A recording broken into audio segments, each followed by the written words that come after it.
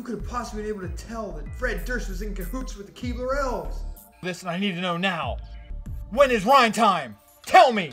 Tell me everything you know! You gotta tell me everything now! Please put the cat video down and no one gets hurt.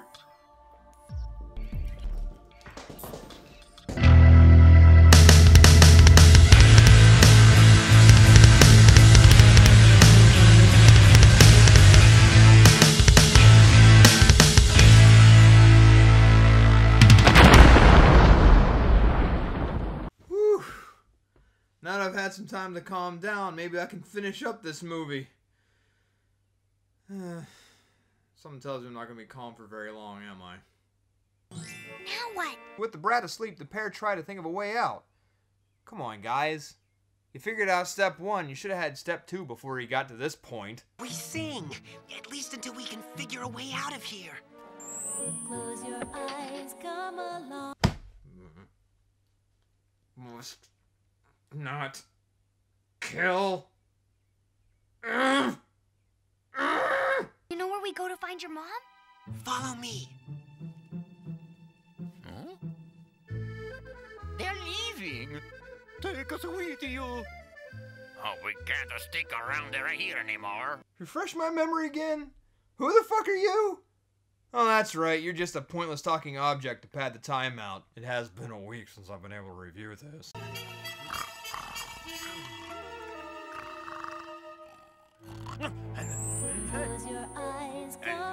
You know, every time Claire starts singing that song out of place when it's not a filler video, I'm sort of taken out of the movie.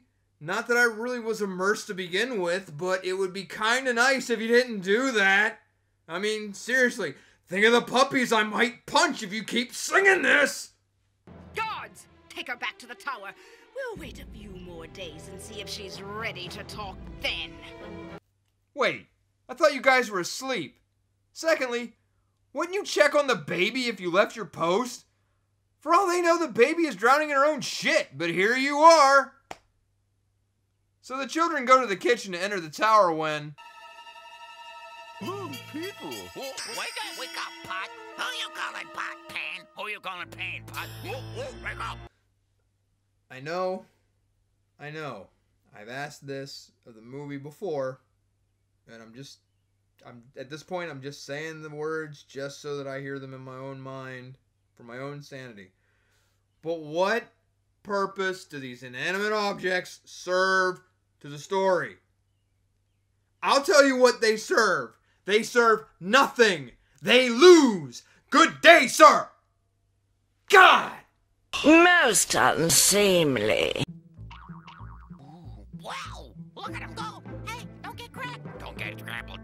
Careful, yeah. Be careful. Bye-bye! Can't turn back now.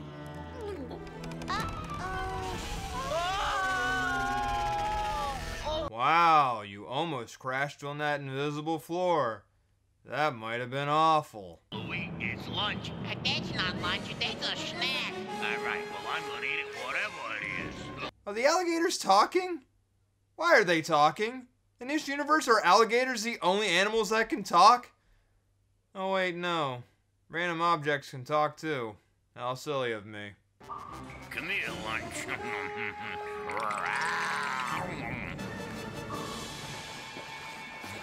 hey, that's pretty tasty. Yeah, got milk. Holy shit. Leo Pantyhose just killed somebody. I mean, one of the theories I've been having throughout this entire review is possibly the inanimate objects are his servants, just trapped in that stupid thing that, you know, Disney created. But they didn't want to outright say. And if that's true, Leo just killed one of his servants. Holy shit! The worst turtle leader ever just killed somebody. And I applaud that. Good on you, man. So after he murders a servant, the pair try to break into the tower dungeon when Claire picks the lock. Wait a minute. When did we establish this? Where did she get that hairpiece for breaking and entering?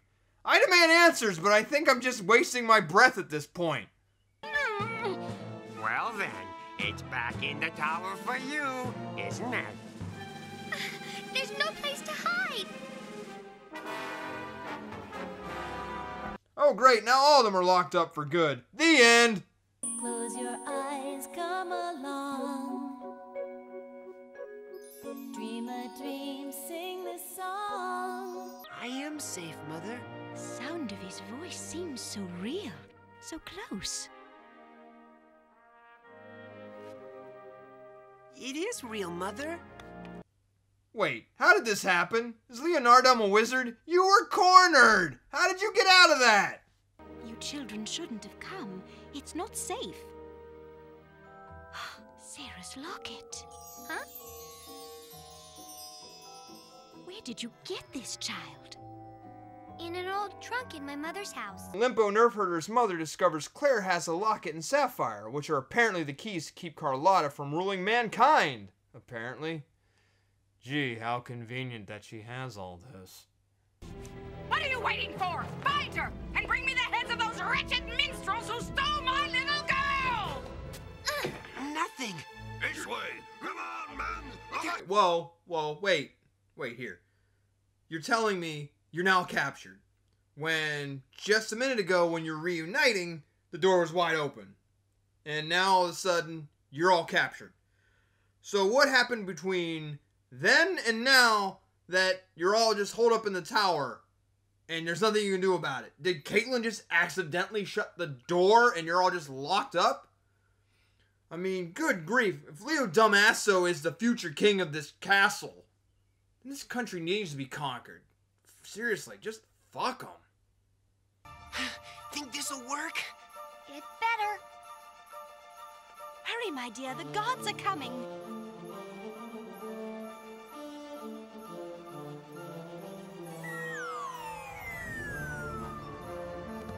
I would like to think horses are smart thanks to the likes of Twilight Sparkle, but I highly doubt a horse would hold on to a rope for your escape. Well, my suspension of disbelief has been destroyed. Thanks, horse. I'll never get it back again for this movie.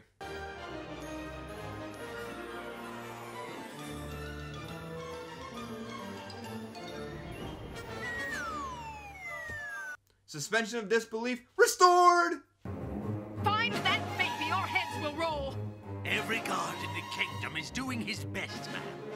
Well, it's not good enough, is it? No, no, ma'am. Wow, those are some of the best quick change artists I've ever met. They change costumes in the blink of an eye. That or they're shapeshifters. You decide. Clean 'em up! I think the more important matter is what happened to your wall. You don't even need to use a door for that room anymore.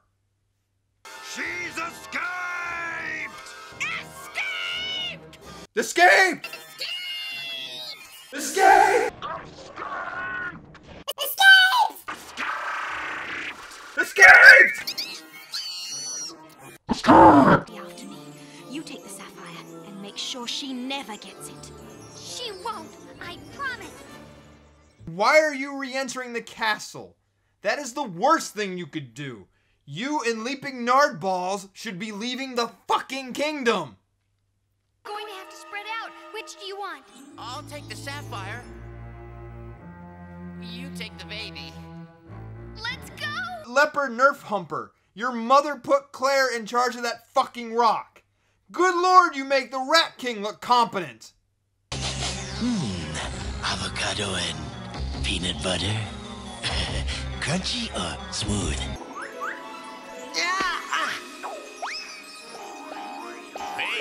Looks like lunch.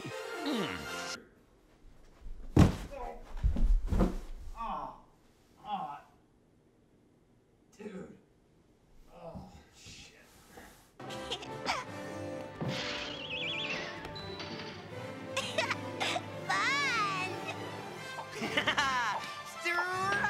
May I remind you, this is Dove approved, even with fisticuffs.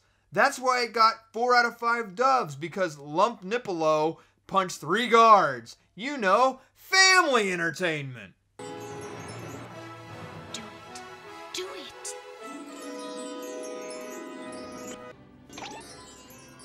What the fuck?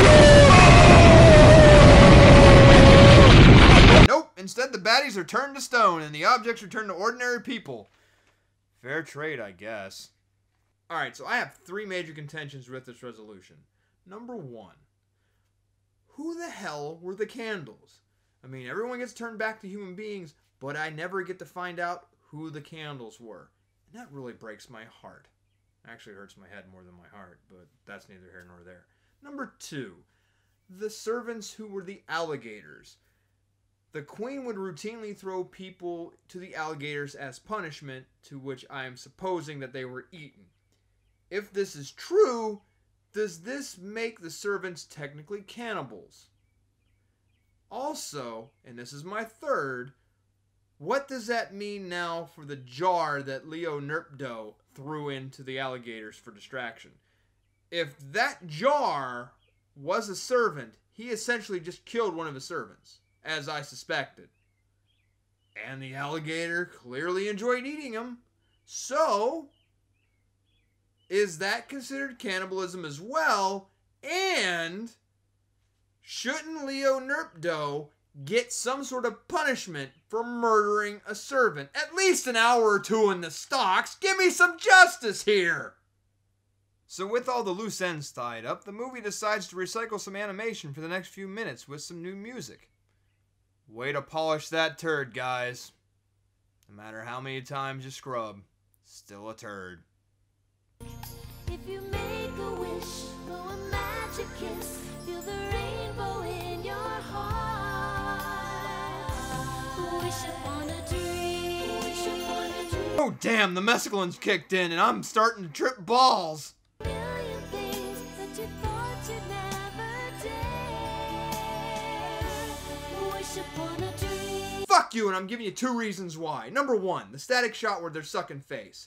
Can't they just be friends? They're 10 years old at best. There's no reason for this.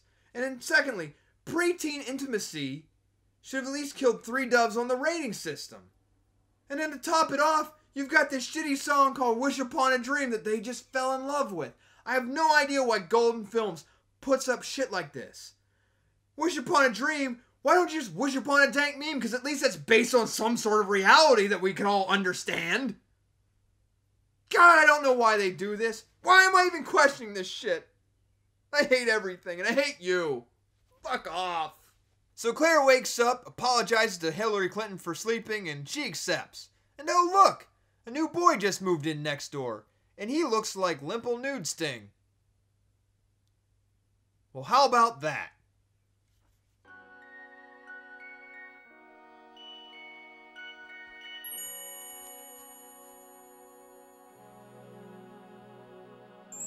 Close your eyes, come along. No. If this is a dream, I hope I dream forever. So there you have Princess Castle. Just another one in a long line of golden films that make absolutely no sense, has no relevance, and just leaves you with more questions than answers. Would I recommend anybody watching this? If you have nothing else in your life, but you somehow discover this and you have a TV and DVD player, then sure, knock yourself out. Otherwise, primarily use this as a torture device to children, because if you do that, I guarantee you they'd start reading books rather than watching shit like this. Well, you have to excuse me now. I got a horse to fix. Close your eyes, come along. Dream a dream. Man, I really wish I'd put some forethought into this when I wrote it in the script. Yeah, Sam. Rip a pony's head off and eat the stuffing. That'll get all 30 people who watch your damn videos to laugh. Ah, fuck. You know, sometimes I think I write these bits and they just go a little too far. Rip off a plushie's head, Sam. Yeah, that's a smart thing to write in the script, and in theory, when you have to fix the damn thing, what it get you? Jesus Christ.